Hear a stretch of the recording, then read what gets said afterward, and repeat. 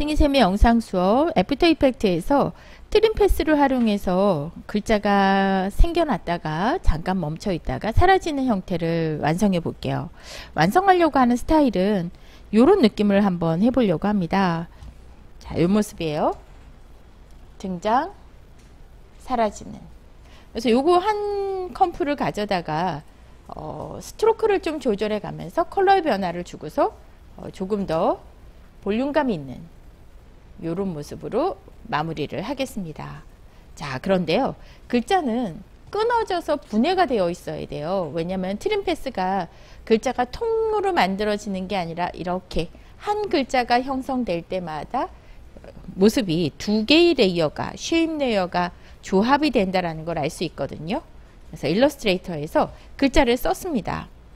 분해를 좀 할게요. 마우스 오른쪽 버튼 Create Outline 다시 마우스 오른쪽 버튼 Ungroup stroke만 있는 상태에서 작업을 해볼게요. 어, 조금 눈에 띄게 하기 위해서 stroke의 두께를 조금 올려서 한번 해보겠습니다. 자, 요거를 가지고서 작업을 해볼게요. 일단 분해를 시킬 건데요. 이렇게 이 글자처럼 심플한 거는 이렇게 계획을 세우는 거예요. 어떻게 하면 좋을지. 저는 이 글자를 하나는 이렇게 등장을 시키고 아 이건 너무 길어지는군요. 얘가 중간 라인이 많아지니까 얘가 이렇게 하나를 하고 하나는 그냥 이렇게 그냥 할게요. 어, 자 그래서 여기 끝을 컷 자르기 여기 끝을 컷. 자 컷은 뭐냐면 요겁니다. 직접 선택 tool로 컷 자를 수가 있어요. 컷. 그리고 나서 앵커를 잡아서 앵커를 딱 잡았을 때 선택이 얘네들이 뭔가 이렇게 좀 앵커 포인트들이 이렇게 하얗게 상자가 생기는 순간이 있어요. 그거는 아, 요 녀석이 선, vertex가 선택이 됐구나 라는 걸 알 수 있어요. 자, 그리고 요 마찬가지로 얘도 아래로 이렇게 내리겠습니다. 자, 그러면 여기 있는 앵커 포인트는 이쪽 옆으로 보낼게요. 그리고 여기 앵커 포인트도 이쪽 옆으로 보내서 이자를 한번 완성해 봤어요. 어, 여러분들 좀 눈에 띄라고 색상을 좀 변화를 주겠습니다. 스트로크의 색상을 이렇게 변화를 주면 2는 완성을 했어요. 자 이번에는 N자 한번 만들어 보겠습니다. 자 계획을 세우는 거죠. 어디를 자르면 좋을까라고 저는 얘는 이렇게 자르고 또 이렇게 자르고 싶어요. 그러면 요 지점과 요 지점을 컷 자르는 겁니다. 자 직접 선택 tool로 앵커 잡고 컷 직접 선택 tool로 포인트 잡고 컷. 자 그리고 객체 선택해서 포인트를 콕 찍습니다. 선택한 포인트를 이렇게 모양을 조절하는 거죠. 자 얘를 약간 이렇게 아래로 내렸고 그리고 여기 포인트는 이쪽으로 또 보냅니다. 겹치도록. 그리고 요 녀석의 포인트는 이쪽 옆으로 보내주고요. 나머지 여기 포인트는 위로 보내볼게요. 그러면 요 객체는 이렇게 요 객체는 이렇게 형태가 만들어지겠어요. 자, 객체 이것도 좀 완성한 거는 색깔의 변화를 좀 줘서 어, 이렇게 완성됐다라는 걸 살펴보겠습니다. 자, 이번에는 U자 한번 완성해 보도록 할게요. 자, U, 우리 여기 만들어진 객체들은 잠깐 hide를 한번 해볼까요? 자, 컨트롤 숫자 3 누르면 hide입니다. 자, 이제 U 한번 만들어 볼게요. U자도 계획을 세우는 거죠. 이렇게, 이렇게 해볼게요. 그러면 요 포인트와 요 포인트를 삭제를 해야겠죠? 자, 원하는 것, 컷, 원하는 곳, 컷. 자, 그리고 포인트를 잡고서 얘를 이러, 아이코, 포인트 vertex를 선택 잡고 보냅니다. vertex를 선택 잡고 보냅니다. 마찬가지로 버텍스를 선택 잡고 위로 보내고 버텍스를 선택 잡고 위로 보냈어요. 완성됐네요. 자 완성된 객체 또 색깔 변화를 조금 주겠습니다. 자 이번에 여기 S 글자 한번 만들어 볼게요. 이렇게 곡선 글자 만드는 것도 계획을 세웁니다. 자 이번에는 음 이렇게 이렇게 하나를 만들고 얘가 이렇게 그리고 얘가 이 바깥쪽이었어요. 이쪽으로 다시 바깥쪽은 이렇게 내려가 볼까요? 그리고 안쪽은 이렇게 해볼게요. 그럼 포인트 이 지점과 이 지점이 잘려주면 되겠네요. 자, 앵커 포인트 선택해서 컷. 또 anchor point 선택해서 컷. 자, 포인트 선택했을 때 모양이 떴을 때 얘가 이제 이 S 유지가 돼야 되니까 이렇게 위로 좀 올려주고요. 얘는 요게 또 포인트가 요게 중요합니다. 선을 마저 그림을 그려야 되잖아요. 이럴 때는 pen tool로 여기 앵커 위로 가서 slash를 누르고 여기 마저 내가 S자 모양을 곡선이 예쁘게 가도록 이렇게 선을 마저 그려줍니다. 잘 됐네요. 자, 그 다음에 나머지 자, 여기도요. 요 포인트를 직접 선택 tool로 포인트를 선택했을 때 얘는 S자 곡선이 유, 글자가 유지되기 위해서 밑으로 내려줬고요. 여기가 또 포인트입니다.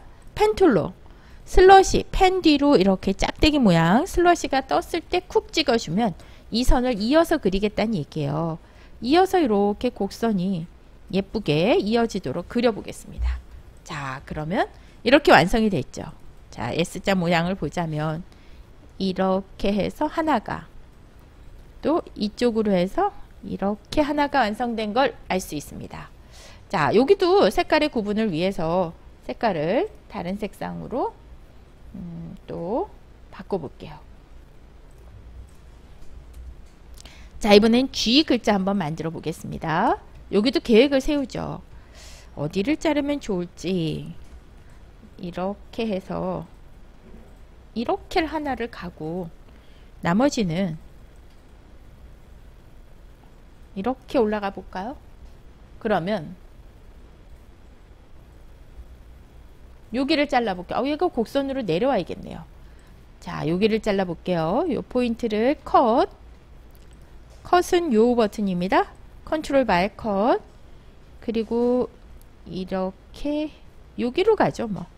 얘도 컷. 자, 그러면 포인트를 선택했을 때 이거는 직선으로 쭉 가고 요 포인트가 이 위로 위로 이렇게 올라가져서 글자가 형태가 만들어지게 자, 이 포인트 가볼까요? 이 포인트는 위로 형태가 이렇게 가서 만들어질 테고 얘가 이제 곡선이 유지가 돼야 되잖아요.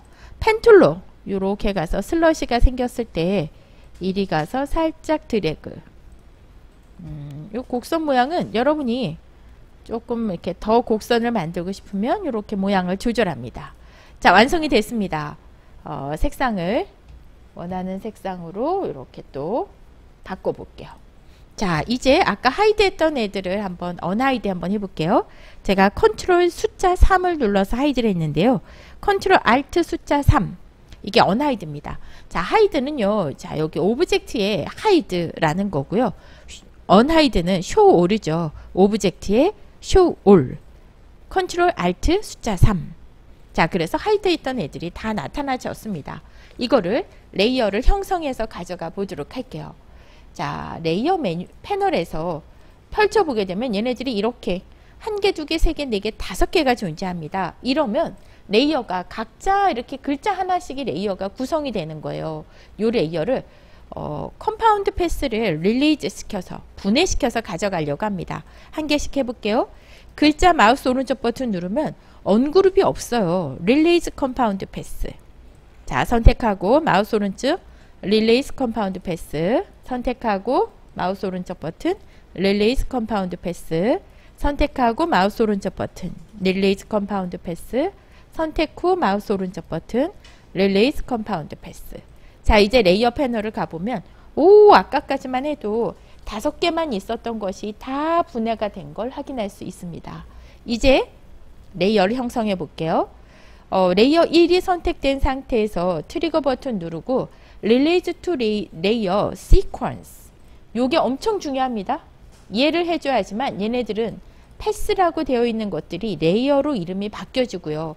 이름이 layer가 되어 있어야지만 바깥으로 이렇게 어, 독립적인 layer가 될 수 있도록 위치를 옮길 수 있어요. 해볼게요. 제일 위에 layer 선택한 상태에서 Release to Layer Sequence layer로 이름이 바뀌어진 걸 바깥으로 쭉 빼주고 비어있는 layer는 버립니다. 자, 그래서 layer들이 형성이 됐어요. 자, 이렇게 눈을 껐다 켰다 해보면 이렇게 지금 이게 만들어진 걸 알 수 있죠. 여기서 이름을 관리해 가도 좋고 뭐 가서 관리를 해도 좋은데 저는 얘가 S라 그냥 S는 S끼리 요게 지금 2거든요. 2 요것도 그냥 2 자, 이 요 녀석이 U네요. U U 그리고 N N 그리고 G G 이렇게 이름을 좀 바꿨습니다.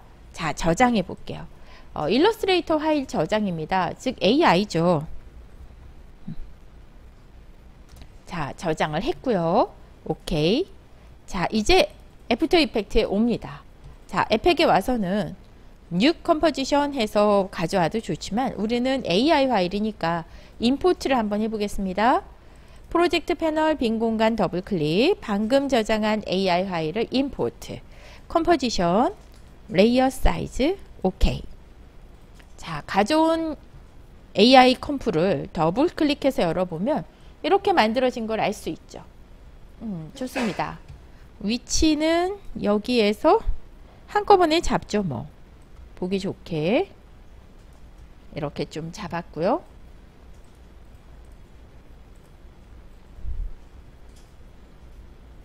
자 위치를 잡았습니다. 그리고 그리고 create 한번 해볼게요. 현재 layer들을 마우스 오른쪽 버튼 create create shape from vector layer 자 그러면 vector layer가 구성이 됩니다. 사실 우리 이제 AI 파일은 이제 필요 없어요. 얘네들은 다 선택해서 삭제를 하겠습니다. delete 자 그러면 어, 예쁘게 이렇게 shape을 Illustrator에서 그려준 거를 분해해서 계획해서 가져왔습니다.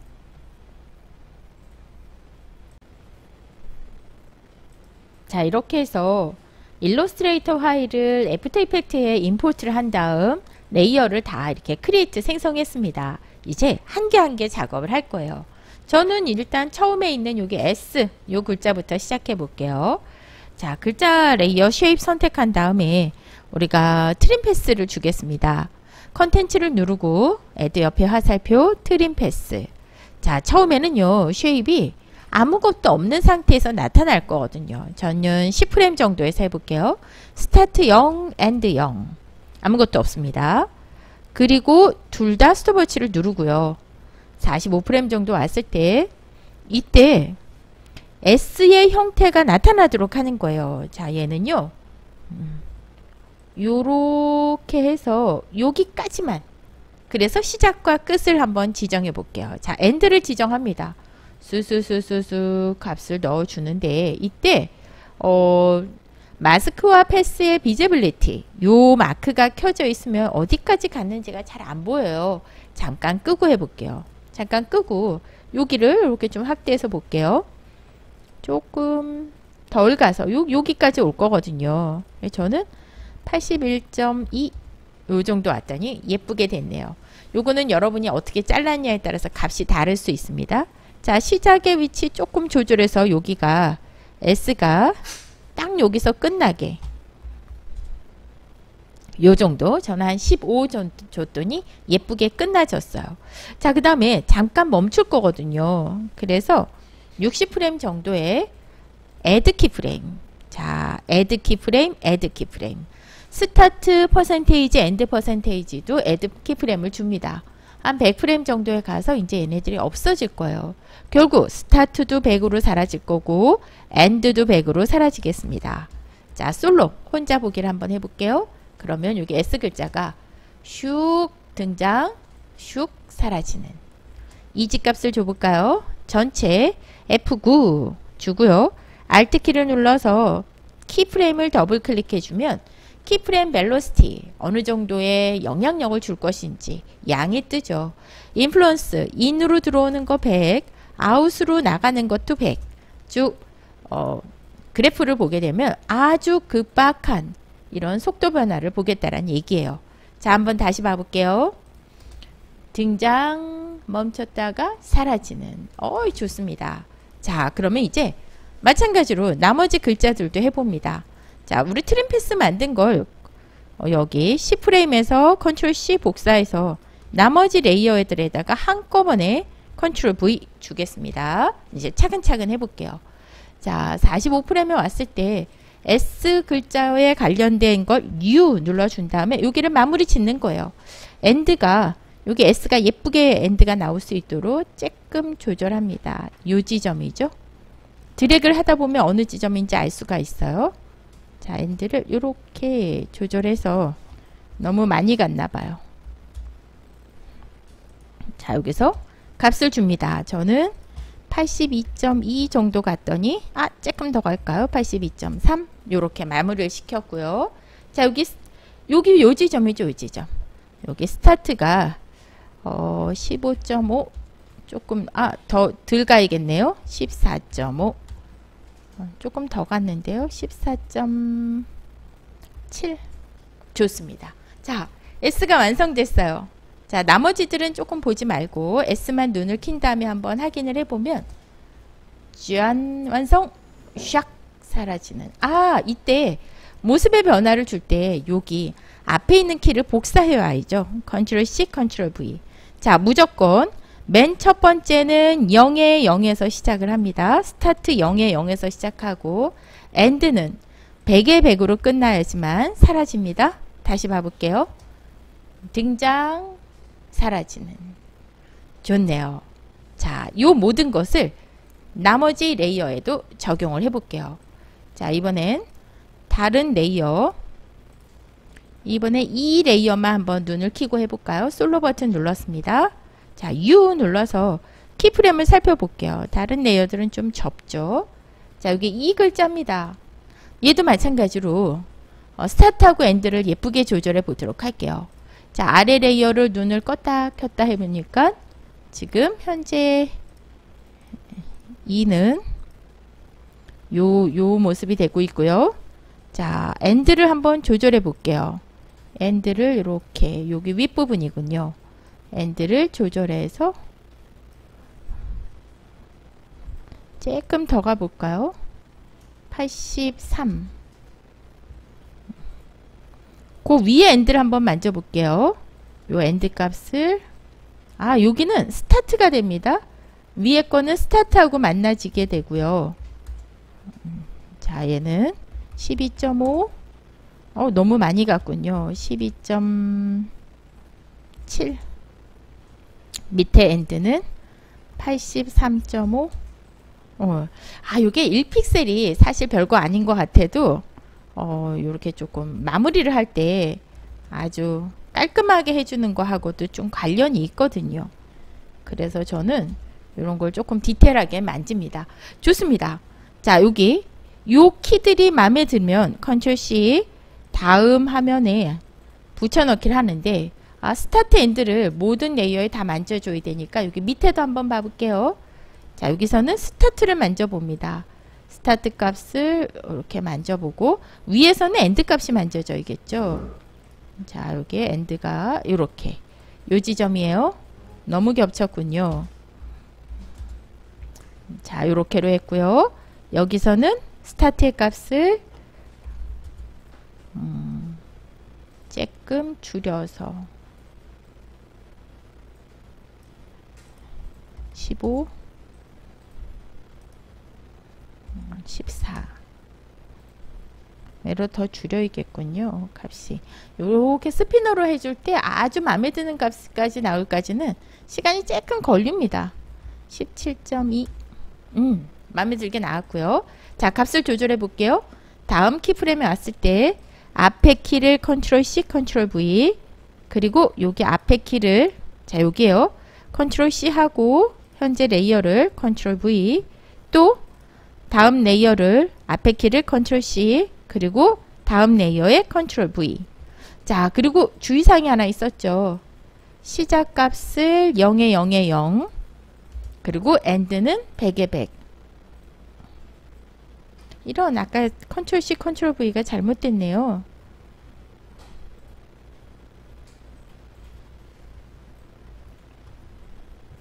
잠시만요.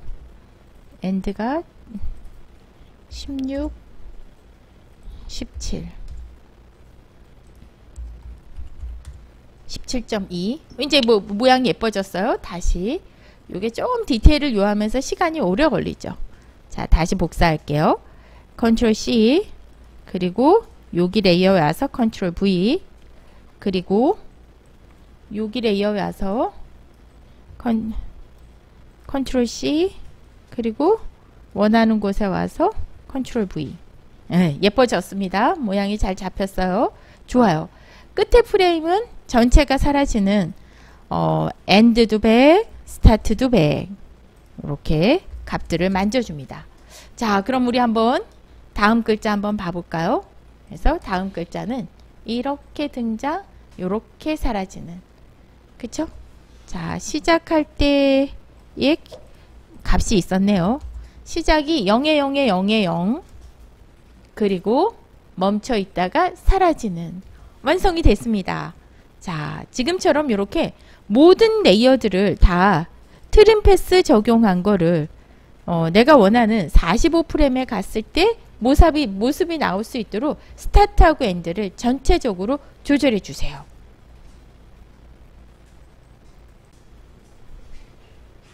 네, 이렇게 해서 일러스트레이터 파일을 가져다가 After Effects에서 trim path를 주면서 이렇게 선이 등장했다가 다시 사라지는 이 모습을 나머지들까지 제가 다 완성을 했습니다.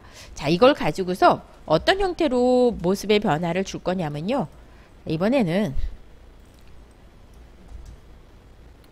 약간 두터운 선에서부터 이렇게 뒤에 꼬랑지가 남도록 요런 트림 패스를 한번 완성해 보도록 할게요. 자, 그러기 위해서는 일단 일단 현재 작업한 얘네들을 프리컴포지션을 만들어야겠습니다. 자, 완성한 것들을 묶어 보도록 할게요. 자, 전체 선택한 걸 마우스 오른쪽 버튼 pre-compose 이름은 뭐 저는 이름을 하나 간단하게 주고요.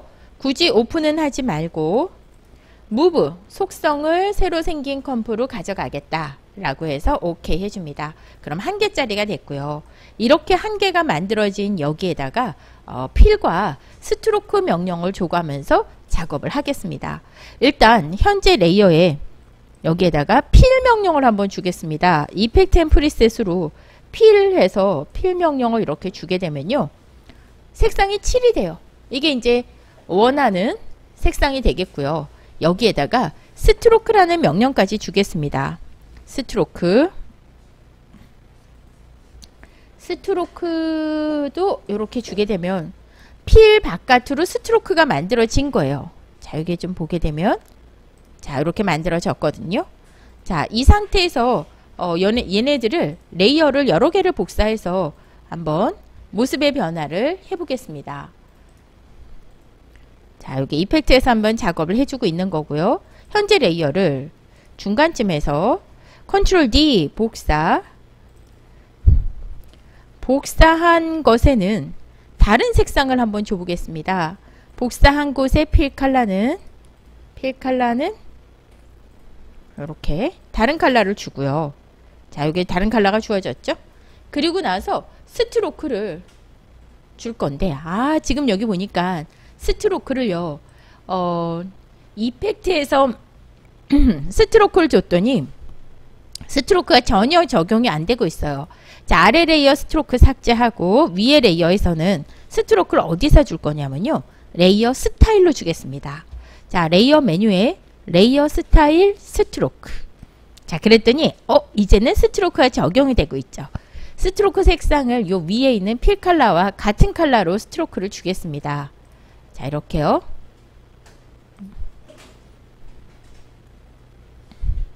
자, layer style의 stroke를 이렇게 주고 있고요. 여기 색상이 안 바뀌었어요. stroke는 버리고 stroke 컬러를 같은 컬러로 이렇게 같은 컬러가 stroke가 됐습니다. 그래서 약간 두툼한 이런 형태가 된 거고요. stroke의 두께를 어, 2, 2픽셀로 되어 있는데 1픽셀로 좀 줄이겠습니다. 3픽셀로 되어 있네요. 1픽셀로 줄일게요. 그러면 자 여기 보게 되면 요렇게 stroke가 적용이 된 겁니다. 자, 요 layer를 또 복사를 하겠습니다. 자, 복사한 복사를 하나를 더 하고 컨트롤 D 복사한 것을 UU 열어보게 되면 fill과 stroke가 이렇게 주형에 주어졌는데 fill은 effect 효과로 줬고요. stroke는 layer style로 준 겁니다. 자 이번에 주어지는 stroke 사이즈는 2픽셀로 조금 더 두툼하게 줄게요. 그리고 색깔을 다음에 나타나기를 원하는 컬러를 fill을 바꿔주고요. stroke도 fill과 같은 컬러로 바꿨습니다. 자, 한 번 더 해볼게요. control D 하고 복사하고 UU 한 다음 stroke의 사이즈는 3픽셀을 주고요. 그 다음에 컬러. 컬러를 나타내길 원하는 컬러. 저는 뭐 yellow 이런 걸 한번 해볼게요. 그리고 stroke의 컬러도 똑같은 컬러를. 자, 한번 정리를 한번 해보게 되면 이렇게 된 겁니다. 자, 맨 밑에 layer부터 차근차근 한번 볼까요? 맨 밑에 layer는 fill을 줬습니다. 자, 혼자 솔로 봐볼게요. 필. 그리고 그 위에 레이어는 필을 주면서 레이어 스타일의 스트로크를 1픽셀 줬어요. 같은 컬러로. 그 위에 layer 하나 더 복사해서는 fill을 주면서 layer style의 stroke를 2픽셀 주면서 두 개가 컬러가 같아요. 자, 그 위에 layer fill을 주면서 어, stroke와 fill 컬러가 같으면서 사이즈가 3이 됐습니다. 마지막으로 흰색으로 하나만 더 해볼까요? control D 하나 복사한 것을 UU 누르고 stroke를 4픽셀을 주고요. 약간 더 두툼해진다는 얘기죠. 색상은 흰색, fill도 흰색, stroke도 흰색 이렇게 마무리가 됐습니다. 자, 요거를 시간 차이를 두고 한번 배치를 해보도록 할게요. 자, 요거는 얘네들이 어, in의 위치가 조금씩 달라지게 배치를 할 겁니다. 3프레임씩 뒤로 밀어보려고 해요. 예를 들면 제일 위에 layer는 그대로 냅두고 3프레임에 갔을 때 두 번째 layer가 대괄호 열기. 자, 6프레임에 갔을 때 그 밑에 layer가 대괄호 열기. 시작 시간이 달라지는 거죠. 쫓아간다는 얘기예요. 9프레임이 됐을 때 그 다음 layer가 대괄호 열기. 그 다음에 12프레임이 됐을 때 마지막 레이어가 대가로 열기. 그러면 뒤에서 얇은 선들이 쫓아가는 거죠. 자, 얘네들이 이렇게 얇은 선들이 쫓아가면서 끝부분이 완성이 되고요. 끝나는 부분도 얇은 선이 뒤에서 이렇게 쫓아가면서 이렇게 마무리가 되는 그래서 포인트가 끝나지는 이 모양이 된 겁니다. 이렇게 등장, 마무리. 전체를 크게 다시 봐보면요. 등장, 마무리. 그래서 뭐 점이 도트가 이렇게 남아서 이렇게 등장하고 마무리되는. 자, 지금 제가 3픽셀 아니 3프레임 차이로 얘가 등장하도록 했더니만 맨 처음에 등장할 때 도트가 살짝 아쉽군요. 2프레임으로 좀 당겨 볼게요. 대가로 열기를 누르면 어떻게 될까요? 통째로 시작 위치가 옮겨지는 겁니다. 자, 제가 2프레임씩 차이를 주는 걸로 다시 조금 조절했어요. 다시 가볼까요? 자, 뒤에서 선들이 쫓아가죠. 쫓아가면서 만들어지고 그리고 마찬가지로 객체가 사라지면서 다음 꼬리들이 쫓아오면서 마무리가 되는 자 완성입니다. 자 이렇게 만든 걸 가지고서 조금만 더 뭐 그림자 효과라든가 배경까지 넣어서 어, 마무리를 한번 해볼게요. 자 지금 이렇게 만든 걸 다시 한번 컴포지션을 한번 구성해 보겠습니다.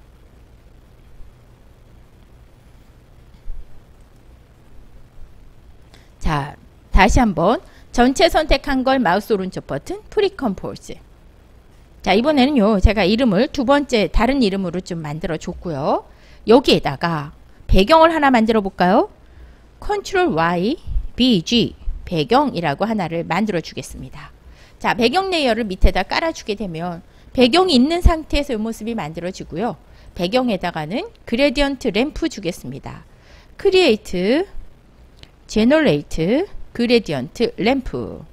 자, ramp의 모양은요. radial ramp, 원형 ramp를 줄 거고 자, 요겁니다. 원형 램프. 이때 swap color 하게 되면 여기 시작과 끝이 바뀌어지고요.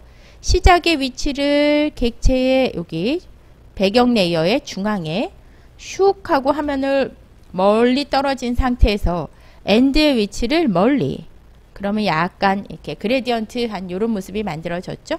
그래서 배경에 배치를 해줬습니다. 자, 이렇게 된 상태에서 우리가 위에 comp layer에 그림자 효과 한번 넣어볼까요? effect, perspective, drop shadow, 그림자 효과. 그림자 효과 딱 떨어졌습니다. 이때 distance, 거리값을 좀 주고 소프트니스, 부드러움을 이렇게 만들어서 얘가 약간 부드러워지는 이런 그림자 한번 만들어 봤어요. 자, 완성 결과 볼까요?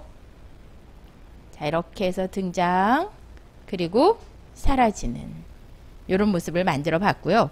여러분들이 뭐 여러분의 컨텐츠 성향에 맞게 배경의 색상을 좀 바꾸고 싶다 라고 한다면 이렇게 좀 조절해 주게 됐을 때 등장 그리고 사라지는 자 배경 layer grad ramp의 end color를 바꿔본 겁니다. 자 이렇게 해서 우리가 trim path를 활용하고 글자가 등장을 했다가 조각돼서 등장을 했다가 얘들이 다시 이렇게 흩어지는 이런 모습을 완성해 봤습니다.